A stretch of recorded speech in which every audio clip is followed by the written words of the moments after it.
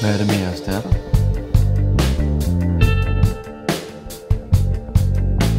Kigger rundt. Her fra bro til babes, de svinger fisserne på klops.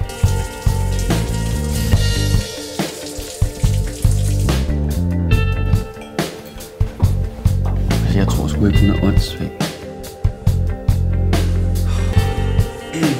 Og du skal bare sørge for at trække vejret dybt ned i maven.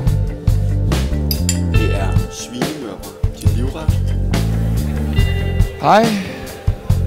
Du har mange interesser. Men det kan da også godt være, hun kan fornemme, hvad du siger lige nu. Hvad vi snakker om. Altså, jeg kunne godt tænke mig at prøve at behandle hende. Hvad? Hvis der ikke er sket noget inden for de næste 14 dage, så er der ikke mere, jeg kan gøre.